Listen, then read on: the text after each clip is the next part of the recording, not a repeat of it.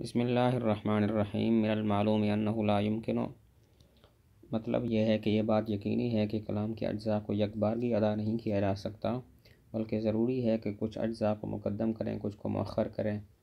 لیکن چونکہ تمام الفاظ اس حیثیت سے کہ وہ الفاظ ہیں، درجہ اعتبار میں برابر ہیں، تو کسی کو مقدم کرنا اولا نہیں ہے۔ اگر کسی کو مقدم کرنا بھی ہے، تو کسی نہ کسی داعی کا ہونا ضروری ہے۔ تو یہاں سے دواعی بیان کرتے ہیں۔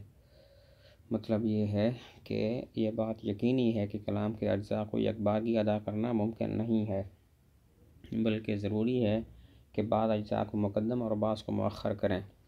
کیونکہ تمام الفاظ درجہ اعتبار میں برابر ہیں، تو کسی کو مقدم کرنا اولا نہیں ہے۔ اگر کسی کو مقدم کرنا ہے تو کوئی نہ کوئی داعی ہونا چاہیے۔ تو یہاں سے تقدیم کے دوائی بیان کرتے ہیں۔ نمبر ایک، مؤخر کی طرف شوق دلانا، جبکہ مقدم میں کوئی عجیب بات ہو۔ والذی حارت البریت فیہ حیوان مستحدث من جماد۔ وہ چیز کہ جس میں مخلوق حیران ہوئی ہے، ایسا جاندار ہے جو پیدا ہونے والا ہے بے جان چیز سے۔ اب والذی حارت البریہ کو مقدم کیا اس لیے کہ مؤخر کی طرف شوق دلانا ہے، کیونکہ مقدم میں عجیب بات پائی جاتی ہے۔ تو نمبر ایک، مؤخر کی طرف شوق دلانا، جبکہ مقدم میں عجیب بات ہو۔ جیسے والذی حارت البریہ فیہ حیوان مستحدث من جماد۔ وہ چیز کہ جس میں مخلوق حیران ہوئی ہے، وہ ایسا جاندار ہے کہ جو بے جان چیز سے پیدا ہونے والا ہے۔ تو ولدی حارت کو مقدم کیا تاکہ مؤخر یعنی حیوان مستحدث الآخر ہی تک اس کی طرف شوق ہو جائے، کیونکہ مقدم میں یعنی ولدی حارت میں عجیب بات پائی جاتی ہے۔ نمبر دو، خوشی یا غم کی خبر جلدی دینا۔ خوشی کی خبر جلدی ہو جیسے العفو عن کا صدر به الامر تمہاری طرف سے معافی، اس کا معاملہ صادر ہوا۔ اب العفو کو مقدم کیا تاکہ خوشی کی خبر جلدی پہنچ جائے۔ غم کی خبر جلدی سنانا القصاص و حکم به القاضی قصاص کا قاضی نے فیصلہ کیا۔ اب القصاص کو مقدم کیا تاکہ غم کی خبر جلدی سنائی جائے۔ نمبر تین، مقدم انکار یا تعجب کا محل ہو، جیسے اباد طور تجربت تنخدع بهذه الزخارف۔ کیا لمبے تجربے کے بعد تم دھوکہ کہا جاتے ہو ان بناوٹی چیزوں کے ساتھ؟ یہاں پر اباد طول اس کو مقدم کیا، اس لیے کہ یہ انکار اور تعجب کا محل ہے۔ نمبر چار، ترقی کے راستے پر چلنا یعنی پہلے عام کو اور پھر خاص کو ذکر کرنا، کیونکہ اگر پہلے خاص اور پھر عام کو ذکر کیا جائے تو کوئی فائدہ نہیں ہوگا۔ مثلا حاد الکلام صحیح فصیح بلیغ، یہ صحیح ہے۔ یہاں پر صحیح عام ہے، اس کے بعد فصیح خاص ہے، اس کے بعد بلیغ خاص ہے۔ اب اگر یوں کہ حاد الکلام و فصیح بلیغ صحیح، تو اب صحیح کو ذکر کرنے کی ضرورت نہیں ہے، کیونکہ فصیح و بلیغ ہوتا ہی وہ ہے کہ جو صحیح ہو۔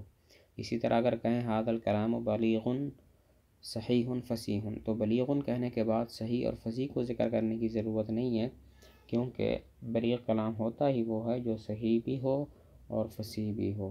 نمبر پانچ، ترتیب وجودی کی رعایت کرنا، جیسے لا تأخذہ سنت ولا نوم۔ اس کو نہیں آتی اونگ اور نہ نیند۔ یہاں پر سنتن کو مقدم کیا ترتیب وجودی کی رعایت کرتے ہوئے، کیونکہ وجود میں پہلے سنتن اونگ ہوتی ہے، پھر نیند ہوتی ہے۔ نمبر چھ، عموم السلب یا سلب العموم کی تصریح کرنا۔ عموم السلب کا مطلب ہے ہر فرد کی نفی، سلب العموم کا مطلب ہے مجموع کی نفی۔ عموم السلب ہوتا ہے جب ادات عموم کو ادات نفی پر مقدم کیا جائے۔ اور سلب العموم ہوتا ہے جب ادات نفی کو ادات عموم پر مقدم کر دیا جائے۔ عموم السلب کی مثال کو لدال کرم یکن، کچھ بھی واقع نہیں ہوا، نہ یہ واقع ہوا، نہ وہ واقع ہوا۔ اب یہاں پر عموم السلب ہے، ہر فرد کی نفی ہے اور یہاں ادات عموم کل ذالکہ کو ادات نفی لم یکن پر مقدم کیا گیا۔ سلب العموم کی مثال لم یکن کل ذالکہ یعنی مجموع واقع نہیں ہوا۔ تو ہو سکتا ہے بعض واقع ہو اور یہ بھی ہو سکتا ہے کوئی بھی واقع نہ ہو۔ یہاں پر سلب العموم ہے، کل ادارے کا ادات عموم کو ادات نفی پر لم یکن کل ادارے کا ادات نفی کو ادات عموم پر مقدم کیا گیا۔ نمبر سات، حکم کو پختہ کرنا جبکہ خبر فعل ہو۔ جیسے الہلال و زہرا، الہلال کو مقدم کیا، چاند ظاہر ہوا، الہلال کو مقدم کیا تاکہ حکم میں تقویت ہو جائے اور خبر زہرا فعل ہے۔ اور یہاں پر حکم کی تقویت تو تکرار اسناد کی وجہ سے ہے۔ دو مرتبہ اسناد ہے ہلال کی طرف۔ ایک مرتبہ زہرا کی ایک مرتبہ زہرا کی ضمیر کے الہلال کی طرف لوٹنے کی وجہ سے اور دوسرا ظاہرہ جملہ کے الہلال کی طرف لوٹنے کی وجہ سے۔ نمبر آٹھ، تخصیص۔ ماں انا کل تو میں نے یہ بات نہیں کہی۔ اب ماں انا کو مقدم کیا تاکہ تخصیص ہو جائے یعنی صرف میں نے یہ بات نہیں کہی، ہو سکتا ہے کسی اور نے کہی ہو۔ ایا کا نابدو ہم تیری ہی عبادت کرتے ہیں۔ ایا کا کو مقدم کیا تخصیص کے لیے کہ ہم صرف تیری ہی عبادت کرتے ہیں، کسی اور کی نہیں کرتے۔ نمبر نو، وزن یا سجا کی رعایت کرنا۔ وزن کی رعایت کرنا جیسے ادانت صفی ہو فلا تجب ہو فخیر من اجابت ہی سکوت۔ ہو جب بے وقوف بات کرے تو اس کو جواب مت دو، پس بہتر ہے اس کو جواب دینے سے خاموشی اختیار کرنا۔ یہاں پر خیر من اجابت ہی مسنت کو مقدم کیا تاکہ وزن کی رعایت ہو جائے۔ اور سجا کی رعایت جیسے خضو فغلو ثم الجحیم مسلو ثم فی سلسلۃ ذروحا سبعون ذراعا فصل کو اس کو پکڑو، بس اس کو توق اس اس کو توق میں ڈالو، پھر جہنم میں اس کو داخل کرو، پھر اس زنجیر میں کہ جس کی لمبائی ستر ذراع ہے اس کو جکڑ دو۔